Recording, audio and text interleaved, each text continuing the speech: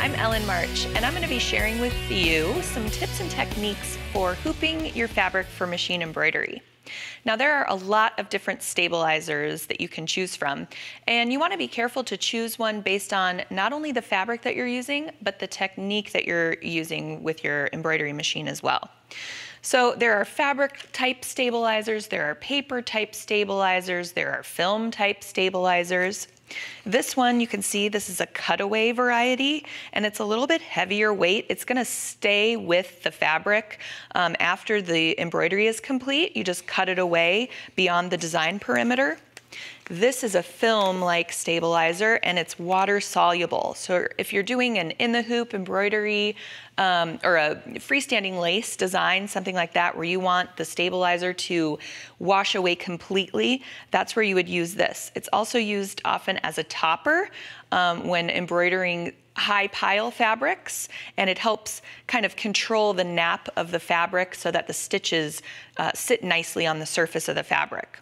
And another type of film-like stabilizer is heat away and that is removed with heat of an iron or heat from another source.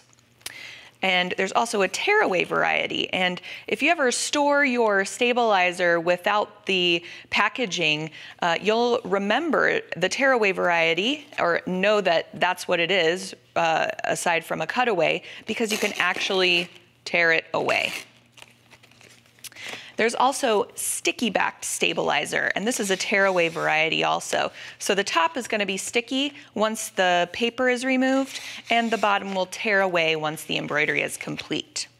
So a couple of tips about hooping. You know, you can get stabilizer that is going to remain separate from the fabric. You can also get fusible stabilizer. And again, your choice is gonna depend on the technique that you're doing and I will show you how I hoop fabric for embroidery. This is just a basic cotton fabric and I have this cutaway variety with it.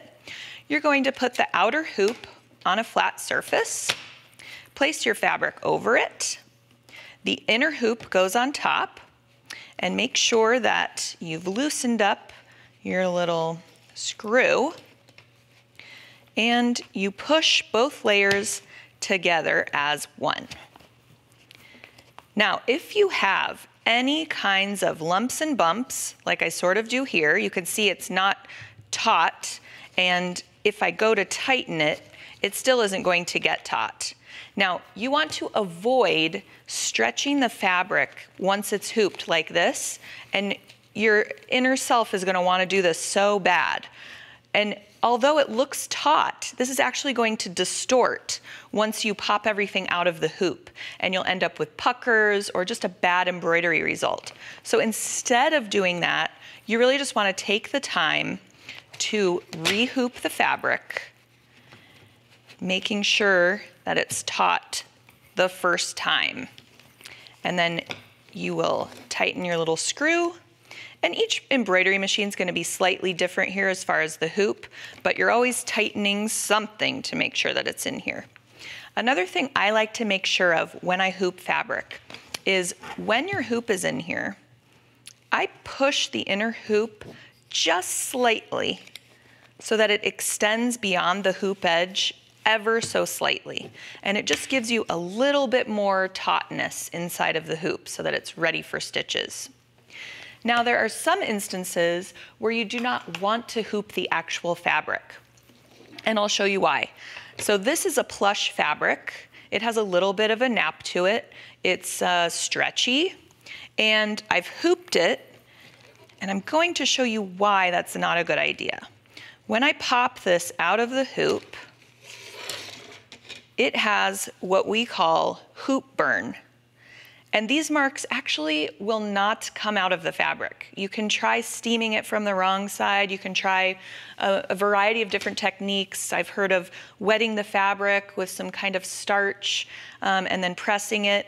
But you've actually marred the surface of the fabric and you'll have, no matter what, this slight little echo of a hoop um, so in this case, we're going to do what's called hoopless embroidery. And that is where we're going to use the sticky backed stabilizer. Now, you're gonna hoop the paper side up. And all we're hooping is stabilizer, no fabric. And again, we're gonna do the same thing we did with fabric. Get it in the hoop. Make sure the stabilizer is taut, tighten her up. And then we're actually gonna score the paper within the hoop. You can do this with a pin. I like to do it with just scissors.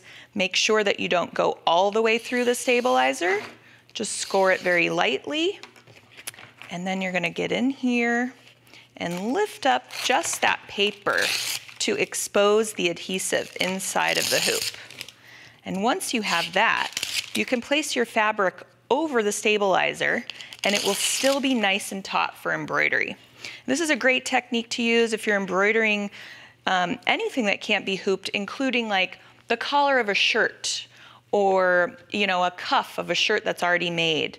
One more tip for this type of stabilizer is that it's easily reusable, which we love, right? So while your stabilizer is still in the hoop after you've embroidered a design, it's tear away, like I said. So you can actually tear away just beyond the design perimeter. And here I have kind of an older one that I've used. And you can see it tore away right beyond the stitches that I had. So I can take and make a little patch out of what is left here and actually stick it over there remove the paper again, and now I've got almost a brand new embroidery or brand new stabilizer sheet to work with. So that's a really cool way to get just more life out of your products. I hope you enjoyed and now you're ready to embroider just about anything.